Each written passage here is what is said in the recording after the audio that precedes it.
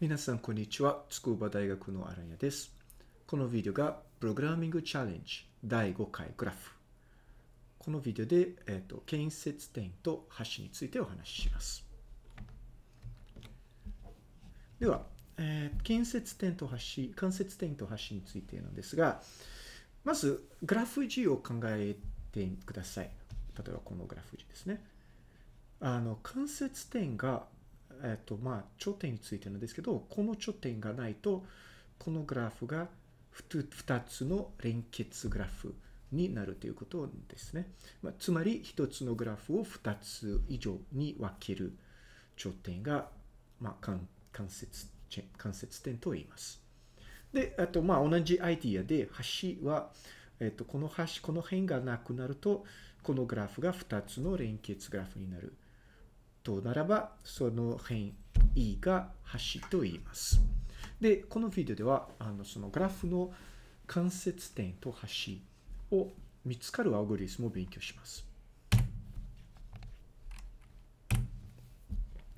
で、えっ、ー、と、まあ、連結ど、どの時に連結と関節点と橋について知りたいかということですね、競技プログラミングで考えると、まあ、例えば、あるグラフがあって、そのグラフを壊すため、どの頂点をあと消せばいいのかっていう問題とか、逆に、えっと、そのグラフが壊されないため、どこで変,、えっと、変をつけばいいのか。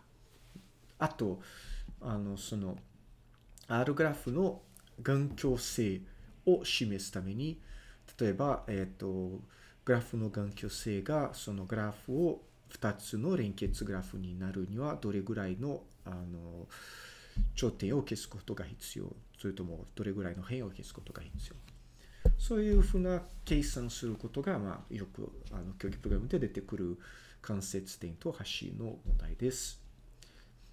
で、えっ、ー、と、まあ、これは探索問題って考えると、まず全探索で関節点を、えー、と探すアルゴリスムを考えましょう。それはあまり難しくないですね。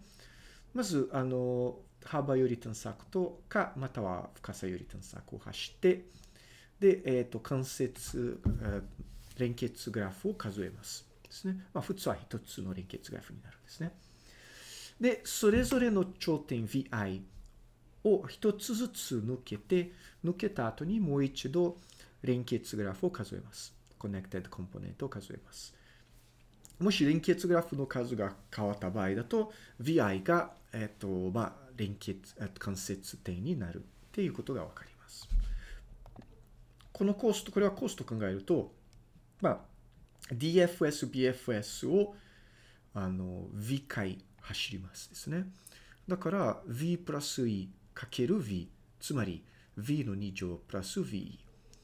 グラフが大きくなければ、これは意外となんか遅くないので、あの、まあ、あの小さいグラフの場合だとこれを使います。大きなグラフの場合だと、まあ、v の2乗より小さい、あと、コストのアルゴリスムを使いたいですね。それは、えっと、タージャン法っていうアルゴリスムです。タージャン法が O of V で、えっと、関節点を見つかるアルゴリスムとなります。タージャン法のアイディアがえっと、 back edge っていうに、えっと、に基づいたアイディアで、 back edge 何かというと、あの、DFS、深さ優先探索を実行するときに、まあ、たまにすでに訪問された、えっと、頂点に戻るでしょう。その時、えっと、その、すでに訪問された頂点にたどり着く辺がバックエッジって言います。で、そのバックエッジを用いて、グラフについてこの2つの情報をキープする。一つが DFS ナム。DFS ナムか何かというと、あの DFS の順番で、えっと、ある頂点のインデックスです。ただなんか、順、あと DFS をやりながら数えて、えっと、DFS ナムをどんどんどんどん増え増えていきます。で、それに対して DFS ロー。DFS ローっていうことが、 back edge をえっ、ー、と、確認したときに、その back edge がたどり着く頂点の DFS num となります。ですね。で、えっと、DFS ナムと DFS ローを計算した後に、U と V の頂点が DFS ローの V が DFS ナムの U より大きければ U が、えっ、と関節点ですね。で、えっ、と、また U と V の頂点の間に DFS ロー V が DFS ナム U より大きければ U と V の間の辺が端と言います。ですね。これちょっと見てみましょう。さっきのグラフで、あと DFS ナムと DFS ローを計算します。DFS ナムがただあと DFS であのカウントしますので、例えばここから始めて、1、2、3、4で戻って、5、6、7。これは DFS なんですね。1、2、3、4、5、6、7。で、この DFS をやっているときに、あの、 back edge をあるときにたどり着くと、あの、DFS ローを計算し直す。まあ、0が、えっと、 back edge に戻っても0に戻りますので、DFS ローが0。で、1でいて、ここの back edge を計算すると、1、DFS ローが0ですね。1から back edge で0に戻り。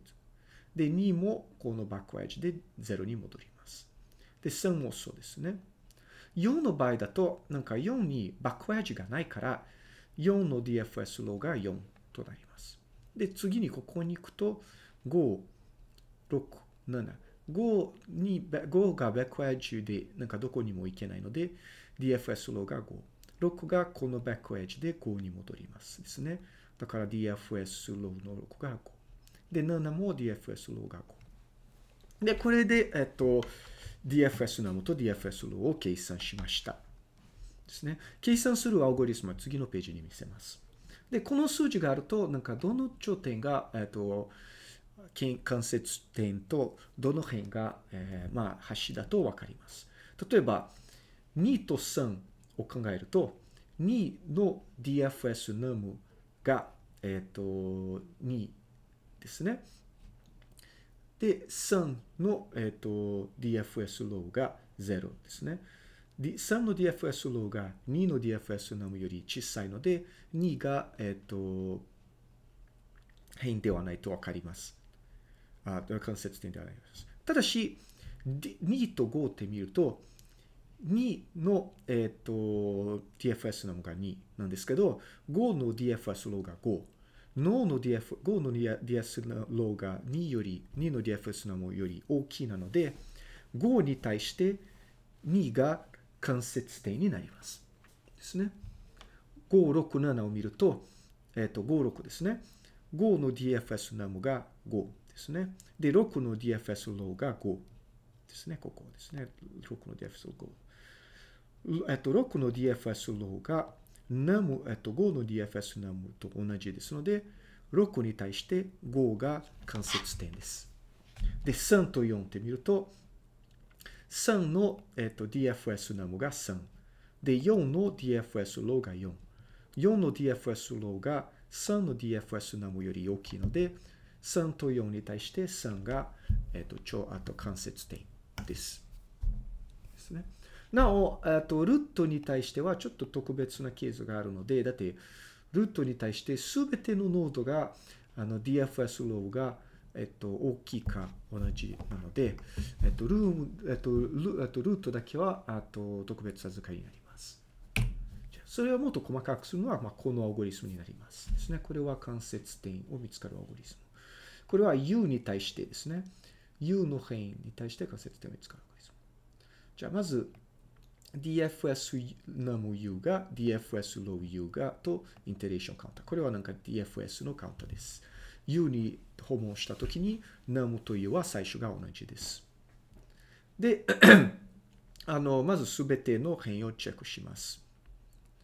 で、DFS num が unvisited の場合だと V を visit します。で、DFS パレントが U です。あの、U が0、U がルートであれば、ルートの変異を増やす。ですね。で、V をビジットします。これはまあ再帰関数です。で、ビジットした後に、あと、すべての変をビジットした後に、U のあと DFS ローと DFS ナムを比較します。DFS ナム U と DFS ロー V を比較して、V が大きければ U がと関節点になります。ですね。で、えっ、ー、と、最後は DFS low U をアップデートする。なんか DFS low V は DFS low U より小さければ DFS low U のもアップデートしなければならない。ですね。このアゴリスムで関節点を見つけます。で、関節辺が必要であれば、えっと、ここだけを帰ります。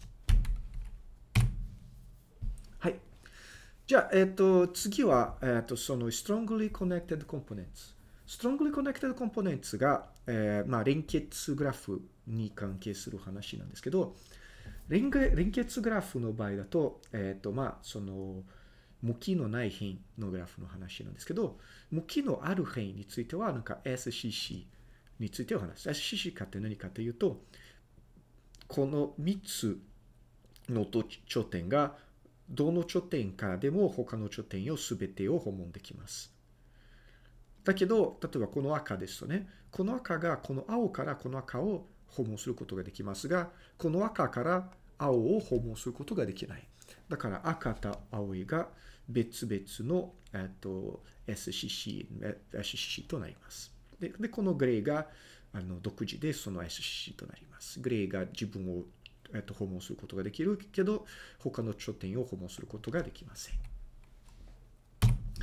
で、えっと、どうやって SCC を見つかるかですね。あの、連結、あと連結グラフを見つかるのはすごい簡単なんですけど、SCC はもう少しなんか工夫が必要です。で、SCC を見つかるには、さっきのタージャン法で、えっ、と、少しを変えることが必要です。あの、新しい U を訪問するときに、まず U をスタック S に入れます。ですね。で、DFS ローが、あの、すでに訪問したあとグラフ、あと頂点のみをあとアップデートします。まだ訪問してない頂点が DFS ローをアップデートしないですね。で、すべて、U のすべての辺を、えっと、訪問した後に、あの、DFS num U と DFS low U が同じです。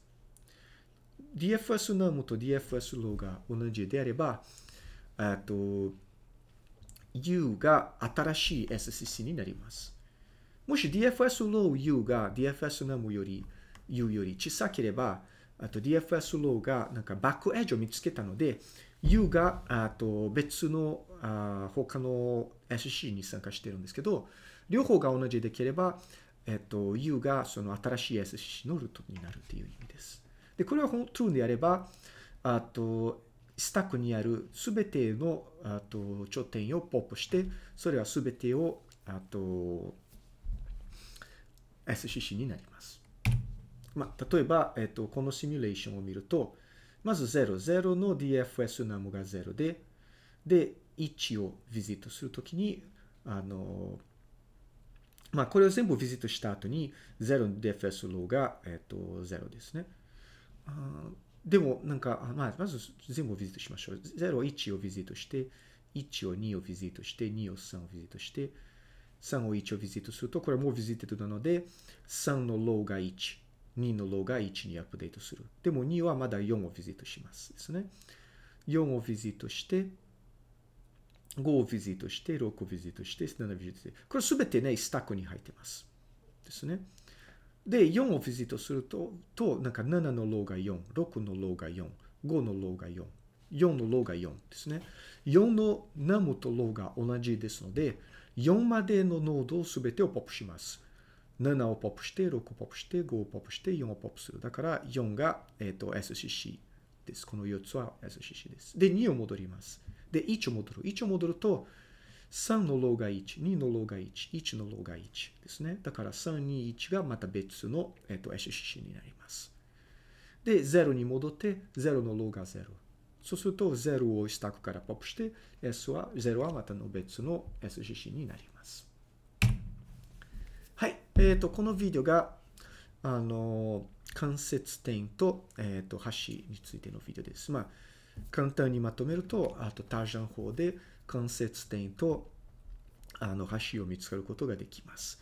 で、SCC がかん、えっと、タージョン法をやりながら、あの、ビジットしているノードを、あと、スタックに、えっと、ポップ、えっと、パッシュすることになります。では、皆さん、次のビデオでは、えっと、えー、MST についてお話しします。